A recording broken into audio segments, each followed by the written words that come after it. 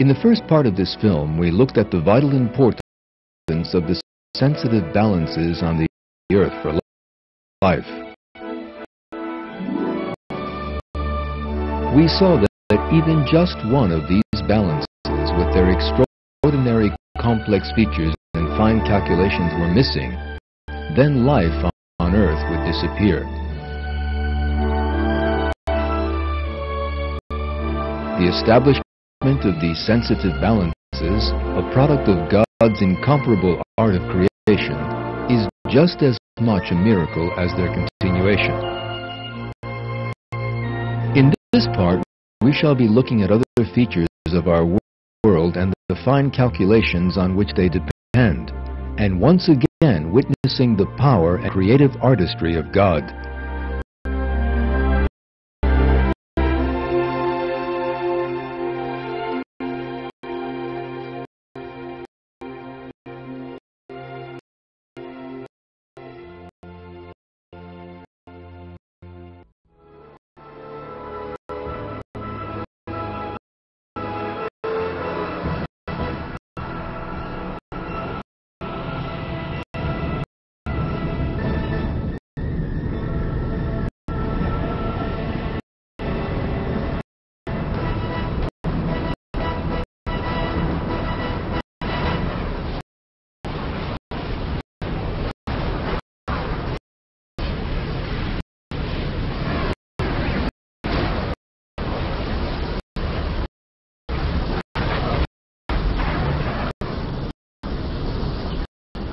The Sun, the nearest star to us.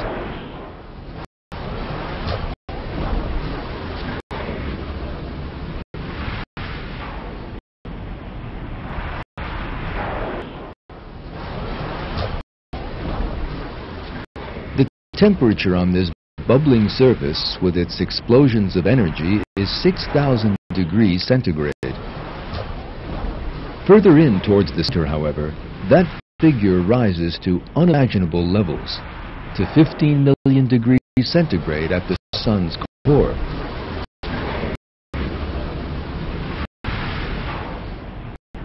The energy produced at that mighty temperature is carried to the Sun's surface as heat and light.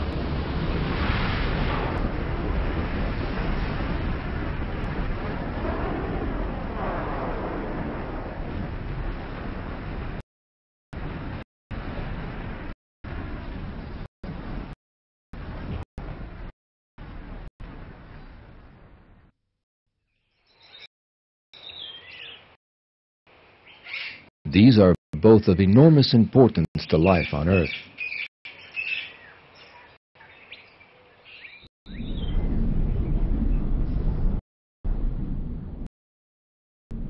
The light and heat that emerge as a result of the exceedingly complex nuclear reactions at the Sun's core have actually been designed with a surprising sensitivity to life.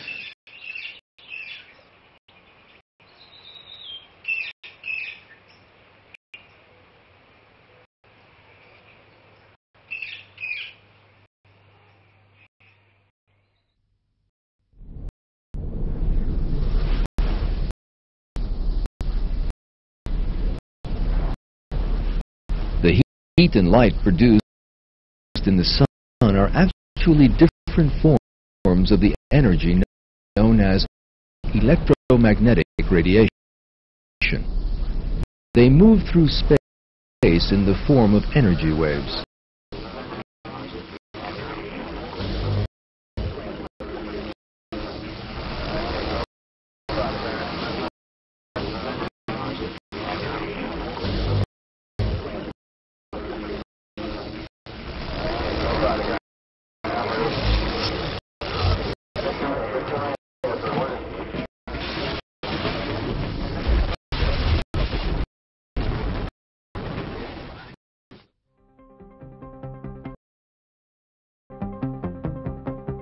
There are considerable differences in the wavelengths of electromagnetic radiation.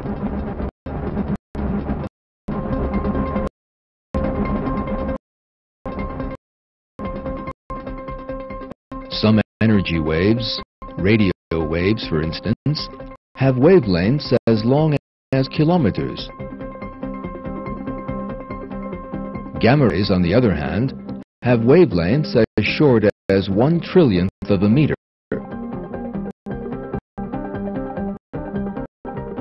In other words, the wavelengths of these waves have been distributed over an extraordinarily wide spectrum.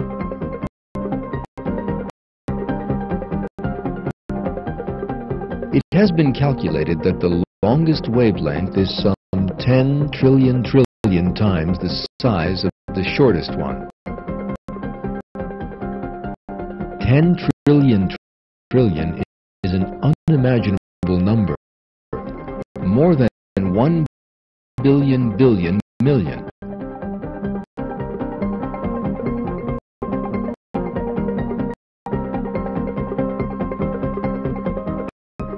We can more easily illustrate this with an example.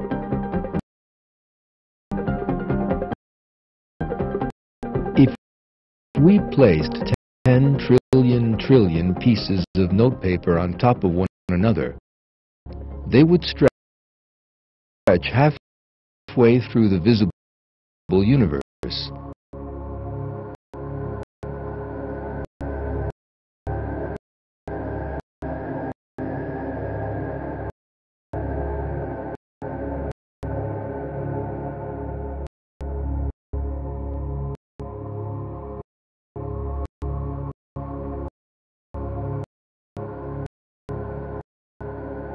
Ten trillion trillion, in other words, is a number that baffles the, the imagination.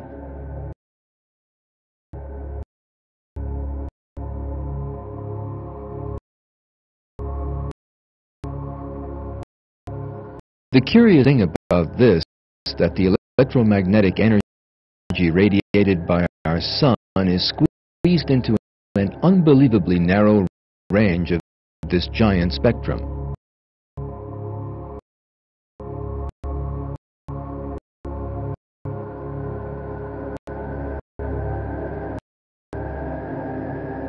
That range is the equivalent of just one sheet of notepaper from all those billion, billion, million ones. But why is that?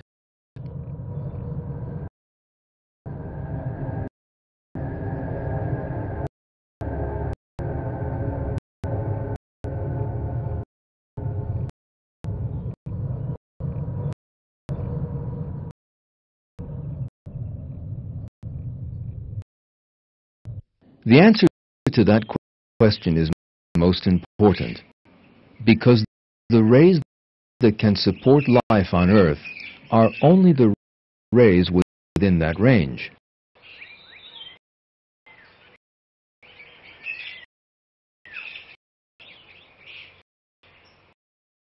In his book, Energy in the Atmosphere, the British physicist Ian Campbell addresses this question says,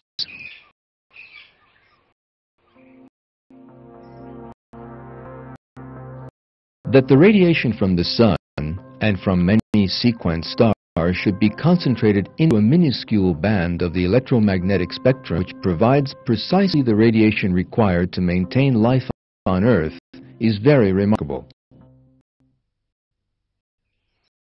Let us now have a closer look at this most extraordinary design in light.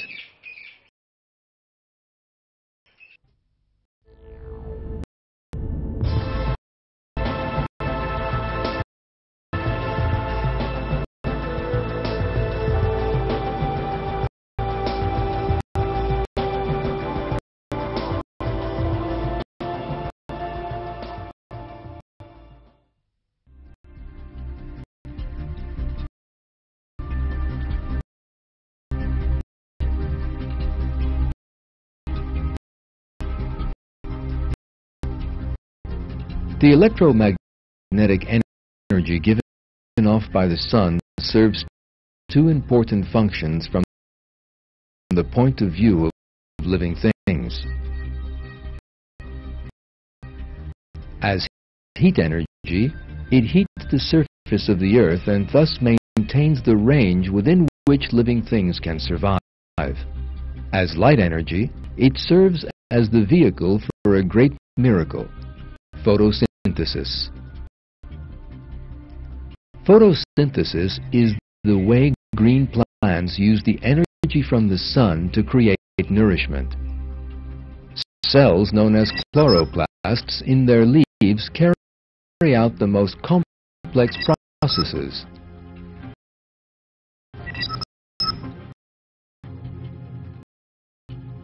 Chloroplasts work just like a chemical laboratory, with several chain reactions taking place every second.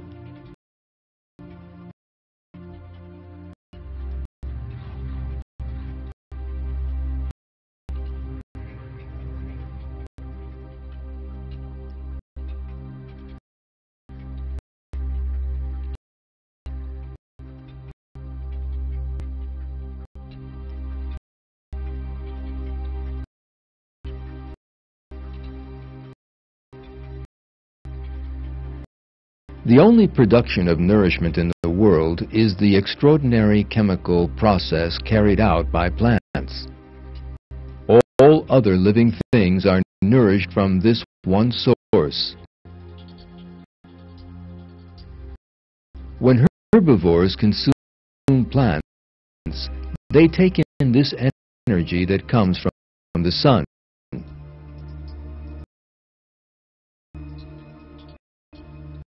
Carnivores obtain the same energy by eating herbivores.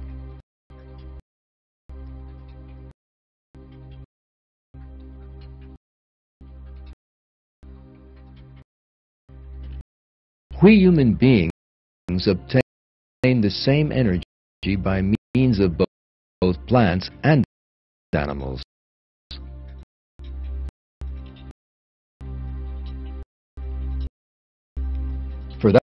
That, reason, every apple, potato, chocolate bar, or piece of steak we eat actually provides us with energy from the sun.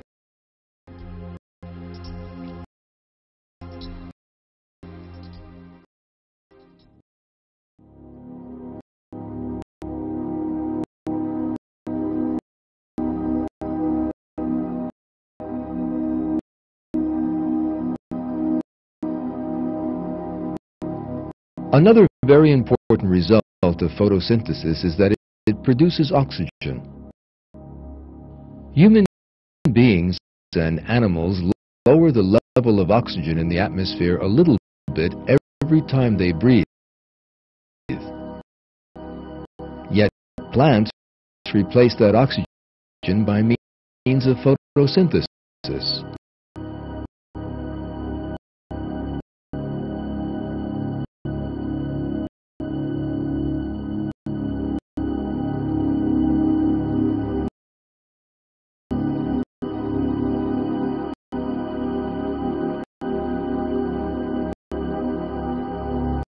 In short, photosynthesis is a very well-designed process.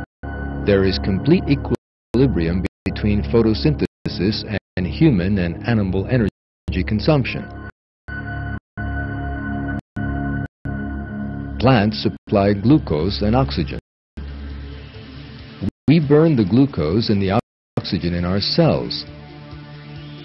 In that way, we are able to obtain and use the solar energy that plants store in glucose.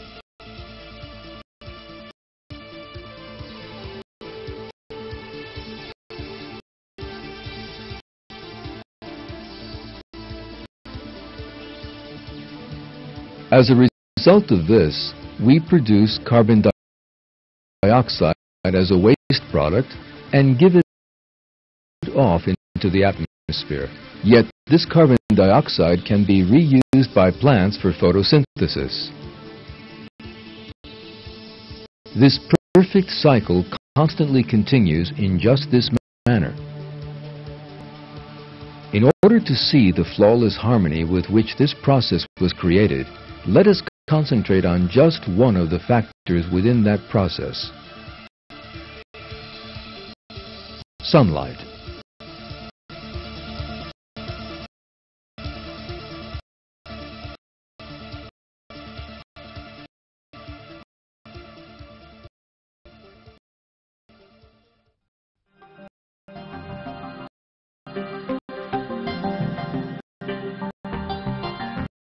We have already said that light from the sun was specially designed for life on Earth.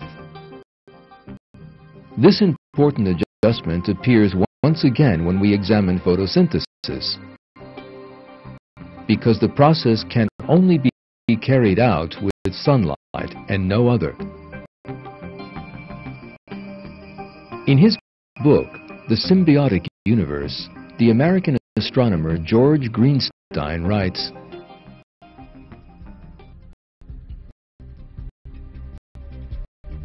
Chlorophyll is the molecule that accomplishes photosynthesis. The mechanism of photosynthesis is initiated by the absorption of sunlight by a chlorophyll molecule. But in order for this to occur, the light must be of the right color. Light of the wrong color won't do the trick.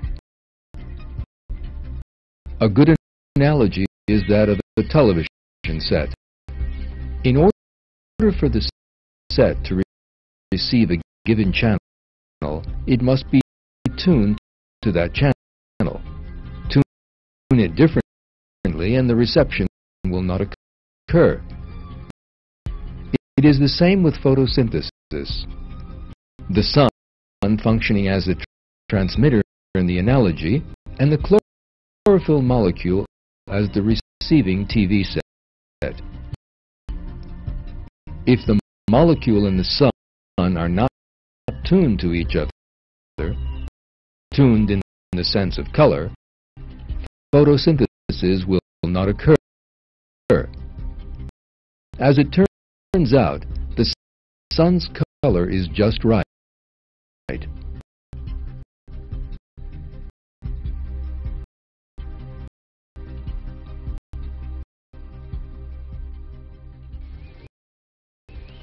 In short, there is a compatibility between sunlight and photosynthesis that cannot possibly be the result of chance. That compatibility shows us that the same infinitely powerful creator actually created the sun, the earth, and everything in it. That infinitely powerful creator is the Almighty God.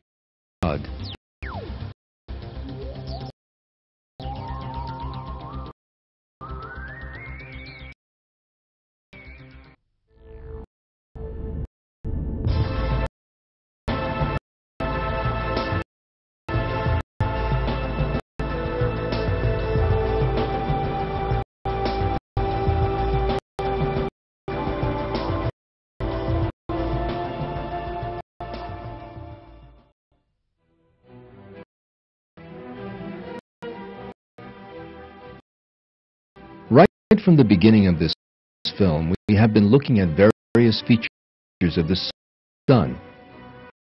And we saw how these had been specially designed to support life. Yet there is another factor in this regard which we have not yet dealt with. The sun's rays have to overcome one very important obstacle before reaching the Earth's surface. the atmosphere.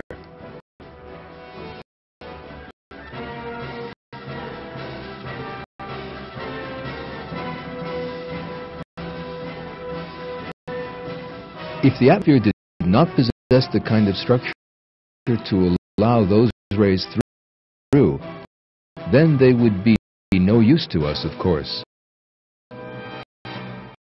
The really interesting thing is not so much that the atmosphere allows beneficial sunlight to pass, but that sunlight is the only radiation that it allows through. Because as the atmosphere allows those rays necessary for life to pass, it also blocks all those rays that would otherwise be fatal.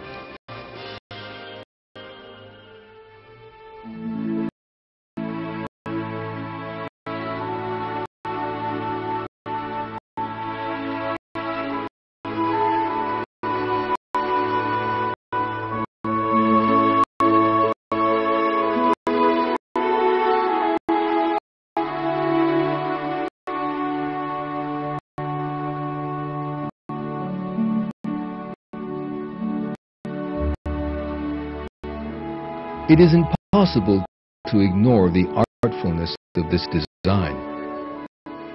The sun sends only one ten trillion trillionth of the whole range of electromagnetic radiation that could be sent. That happens to be the range that is good only for us, and that is the radiation that the atmosphere is through.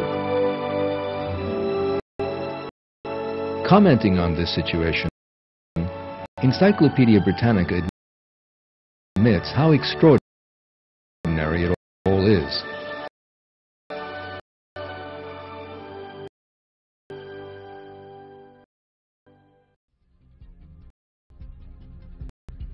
Considering the importance of visible sunlight for all aspects of terrestrial life, one cannot help being awed by the dramatically narrow that atmosphere absorption and in the absorption spectrum of water.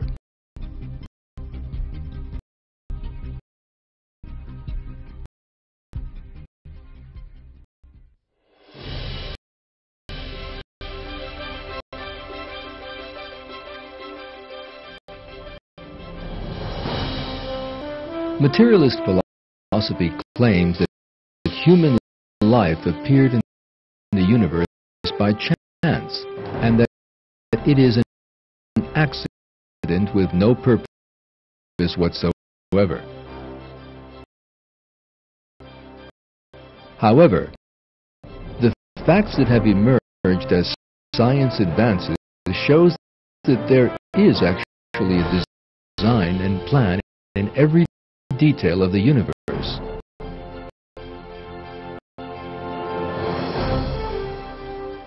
It is such a design that even such a component as light, which one might never have thought about before, is so clearly just right that one can't help but be amazed.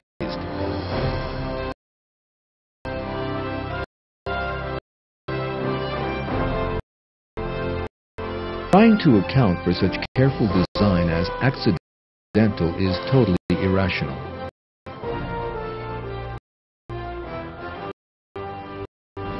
Such extraordinarily fine-tuning as this can be explained not by chance, but only by intelligent design.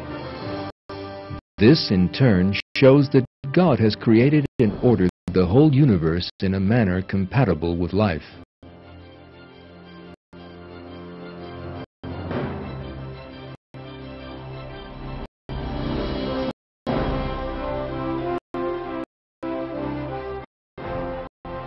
This conclusion that science has led to is something that people were taught in the Quran 14 centuries ago. Science shows that sunlight was created for us. In other words, that it was placed at our service. God stated this in the Quran in these terms. The sun and the moon both run with precision.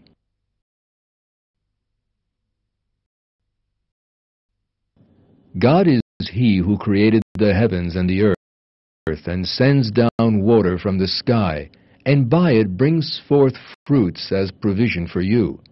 He has made the sun and the moon subservient to you, holding steady to their courses, and he has made the night and day subservient to you.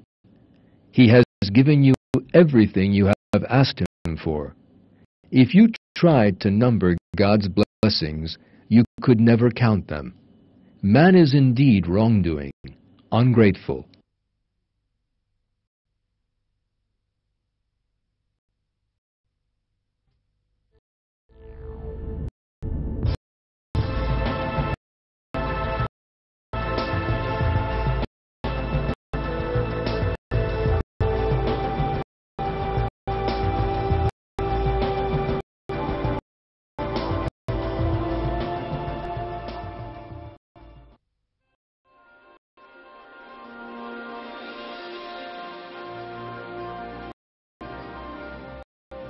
We have so far seen the magnificent features of sunlight and witnessed God's creative artistry.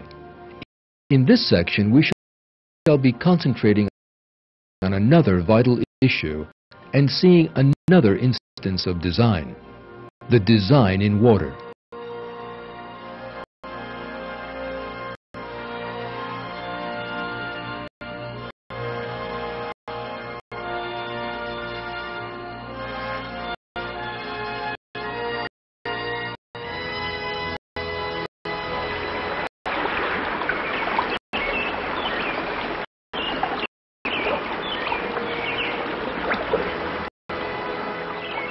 Of the earth is covered in water. The oceans and seas represent some three quarters of the earth's surface.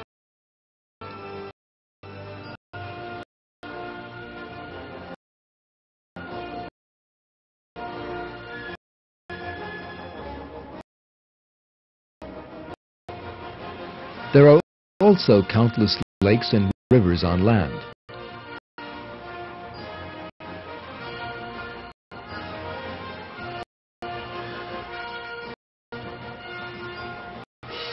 The snow that covers the peaks of the high mountains is merely frozen water.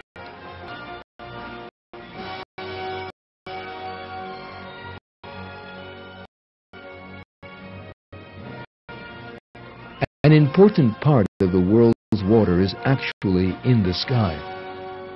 Clouds contain millions of tons of water in the form of vapor.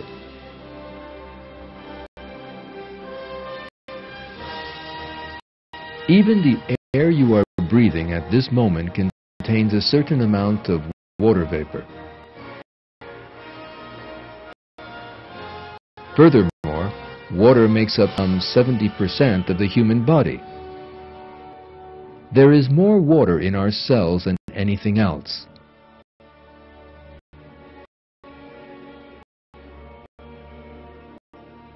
Most of the blood that flows through our body is also water. In short, there can be no life without water. Water has been specially designed as the foundation of life and is a substance whose physical and chemical features have been created for life.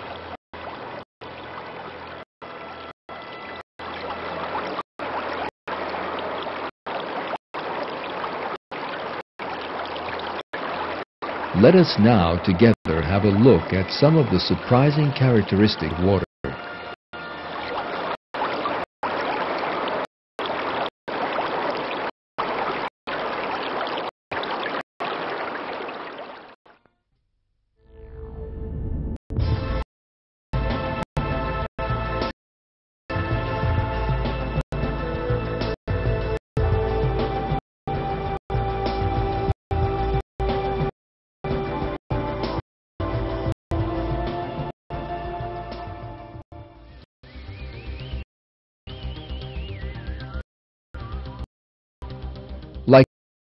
All known substances, liquids also contract and lose volume as their temperature falls.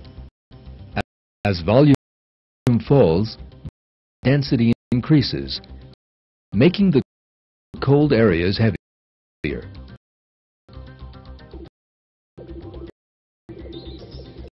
That is why liquids are heavier in frozen form than in liquid. Yet water, unlike all other known liquids, grows heavier until it reaches 4 degrees, at which point everything changes. After this, the water begins to expand and it becomes lighter as the temperature drops. So water is lighter in its frozen state than as a liquid. According to the laws of physics, Ice should be heavier than normal water, but it is actually lighter. That surprising fact has one very important result. Ice thus floats on water, and that is of vital importance.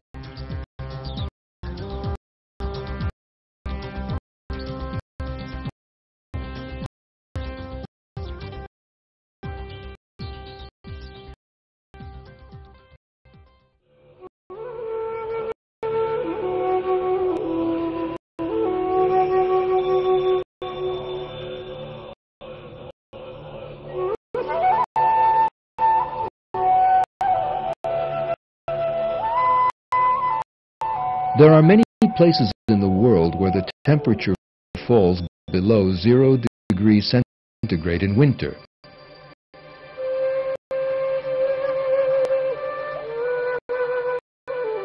Such cold naturally affects seas and lakes. The surface water freezes at zero degrees centigrade. Yet only the surface freezes. The layer below, at 4 degrees centigrade, is enough for fish and other water dwellers to survive.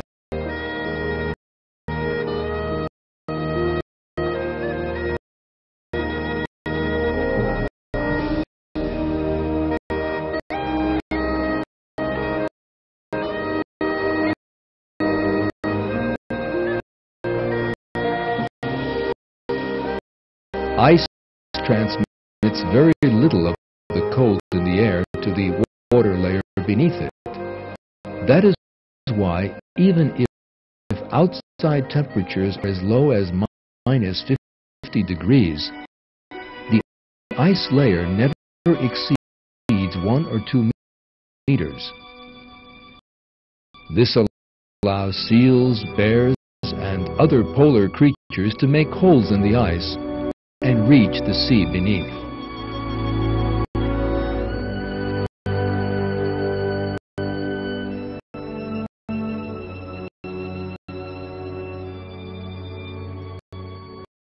What would happen if things were different? If the ice sank to the bottom?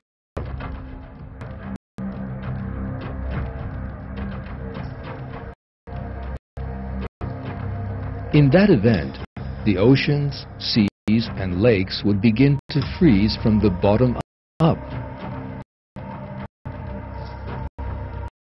Freezing from the bottom up would continue right up to the top, since there was no, no ice layer on the surface to keep back the cold.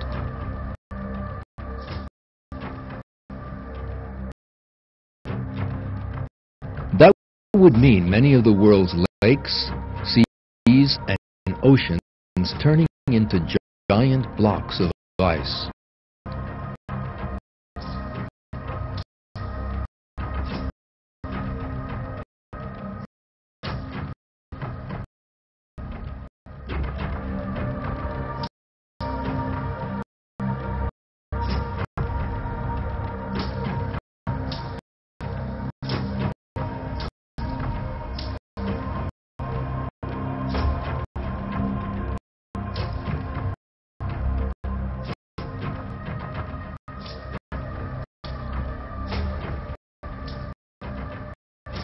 Layer of water a few meters thick would remain on the surface, and even if air temperatures rose, the ice at the bottom would never melt.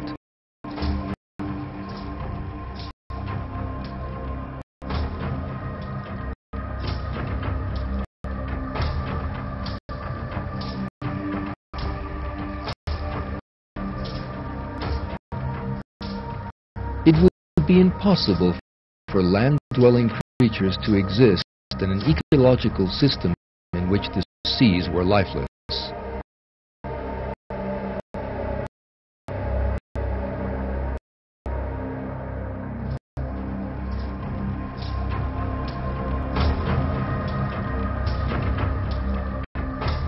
In short, if water behaved like other liquids, the Earth would be a dead planet. Yet thanks to God's might and flawless creation, our world is actually a planet teeming with life.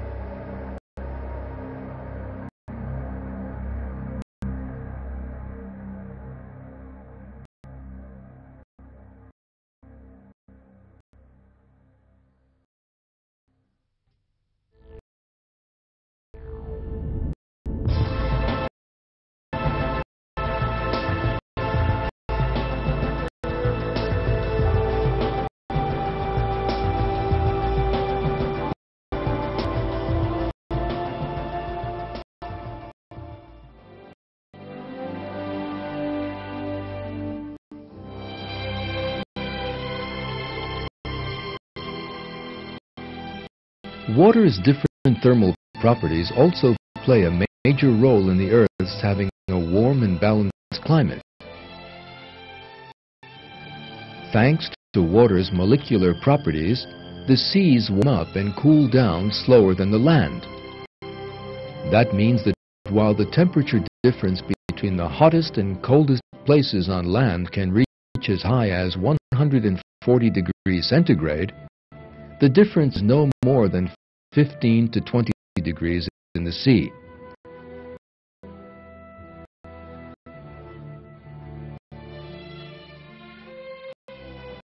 The same thing also applies to day and night temperature differences.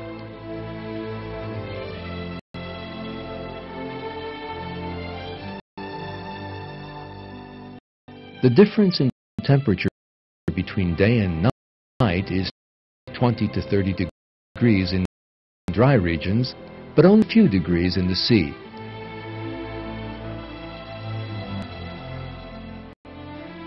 And not just the seas. The water vapor in the air also establishes a very great balance. One result of this is, is that the temperature difference between day and night is, greater in deserts, there is less water vapor, than in regions close to the sea, where there is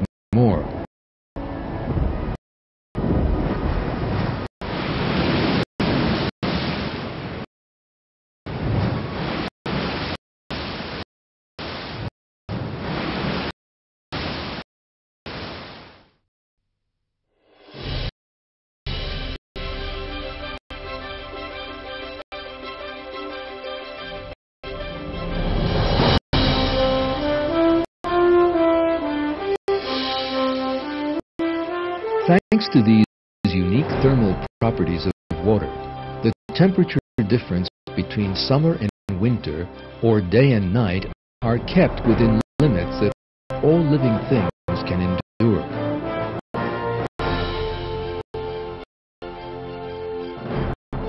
If there were less water than land on Earth, or if the thermal properties of water were a little different, then the difference between day and nighttime temperatures would rise. Most land regions would turn into deserts, and life would become impossible.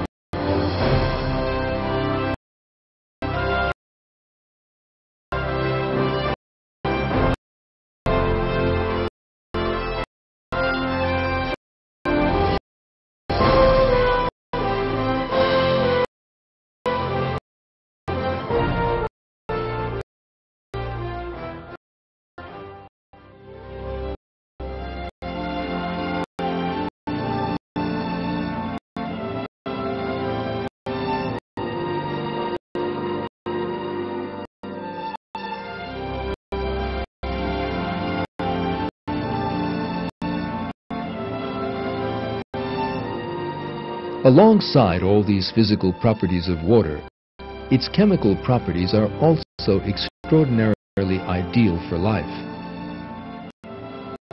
Foremost among these properties is that it is an excellent solvent. Nearly all chemical substances are soluble in water.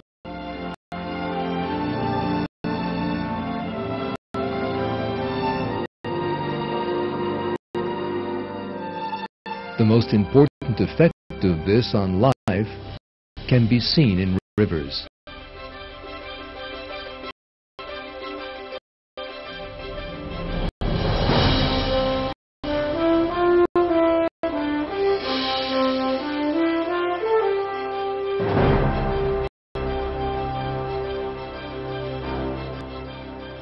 Countless beneficial minerals and similar chemicals are carried to the sea by means of rivers.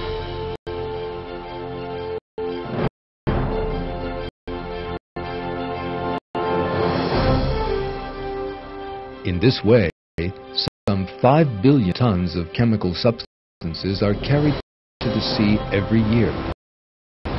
These substances are essential for life in the ocean.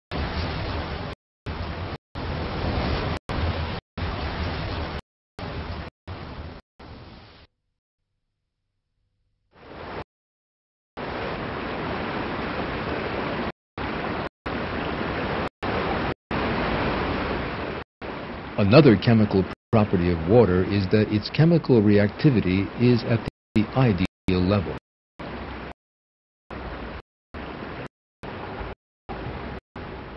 Water is neither an excessively reactive and thus destructive chemical like sulfuric acid, nor an inert substance like argon that enters into no reactions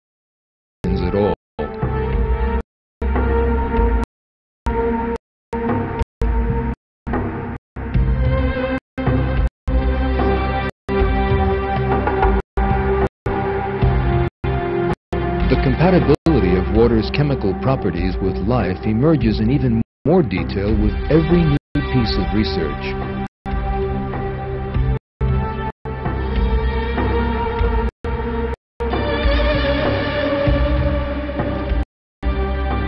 Harold Morowitz, the well-known professor of biophysics at Yale University, makes the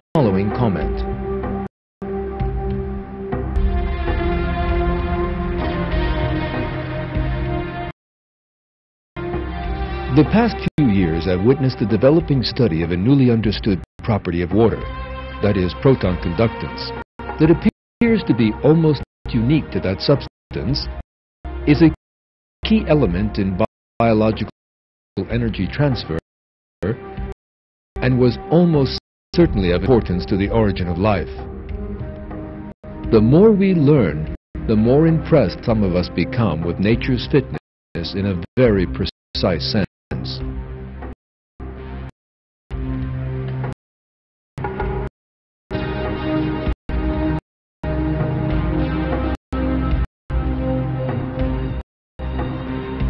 It is clear how important water is for human life. In fact, in many verses of the Quran, God has drawn attention to the fact that water has been given to man as a great blessing and has been made constant on the earth.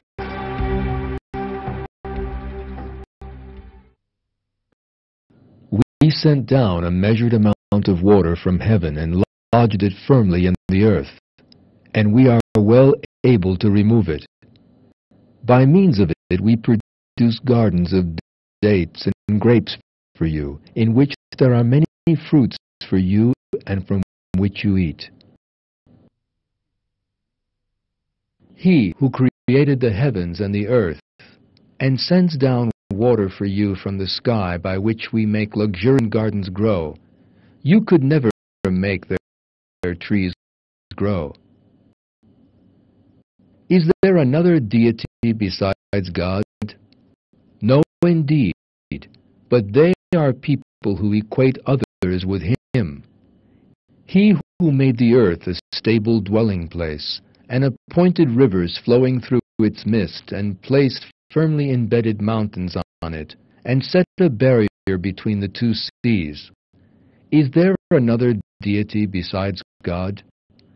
No, indeed, but most most of them do not know it.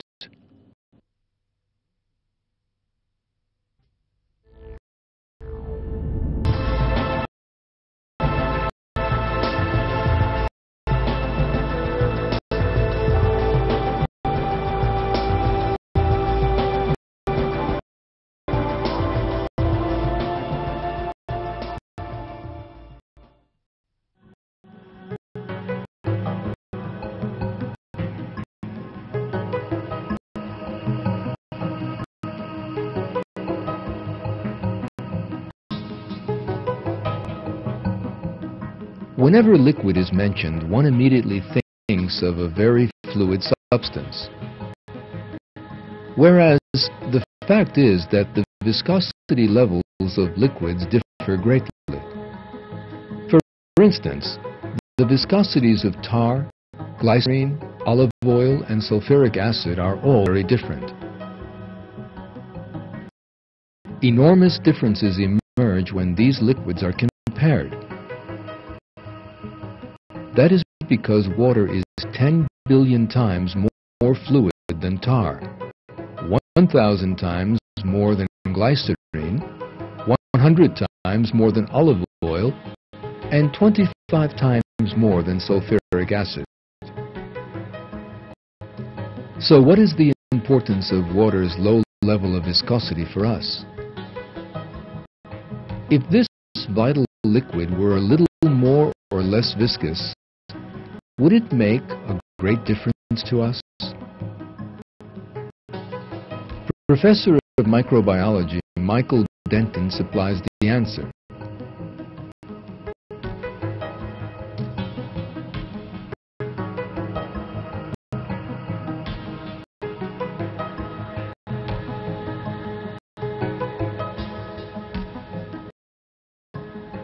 If the viscosity was higher, the controlled movement of large macromolecules and particularly structures such as mitochondria and small organelles would be impossible, as would processes like division. All the vital activities of the cell would be effectively frozen, and cellular life of any sort remotely resembling that with which we are familiar would be impossible. The development of higher organisms, which is critically dependent on the ability of cells to move and crawl around during embryogenesis, would certainly be impossible if the viscosity of water was even slightly greater than it is.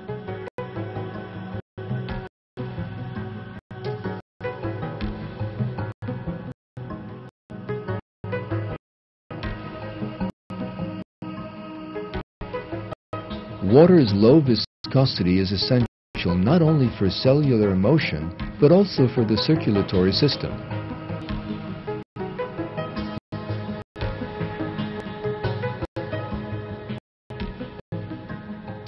There are a large number of cells in the body, and the air and energy taken in from outside need to be pumped to the cells by a number of tubes, and waste products need to be collected by others. These tubes are vessels of the circulatory system.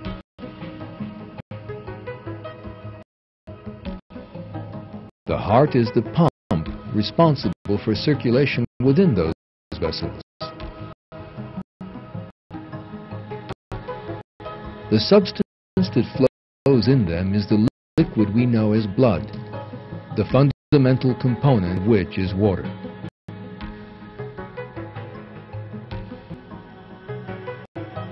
The duty of the vessels is to carry essential substances such as oxygen, energy, nutrition, and hormones to every cell in the body.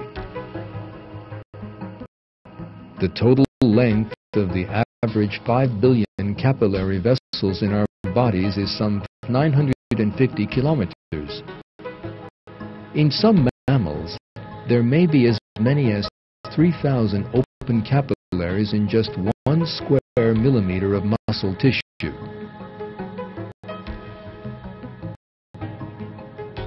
It is thanks to the low viscosity of water that blood is able to circulate in our vessels without becoming congested or slowing down.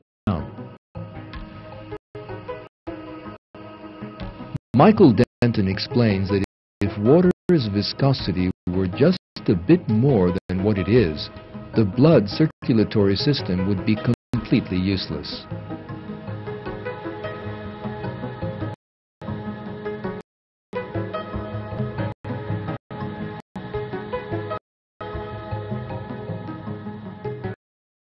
A capillary system will work only if the fluid being pumped through its constituent tubes has a very low viscosity. A low viscosity is essential because flow is inversely proportional to the viscosity. From this, it is easy to see that if the viscosity of water had a value only a few times greater than it is, pumping blood through a capillary bed would require enormous pressure, and almost any sort of circulatory system would be unworkable. If the viscosity of water had been slightly greater and the smallest functional capillary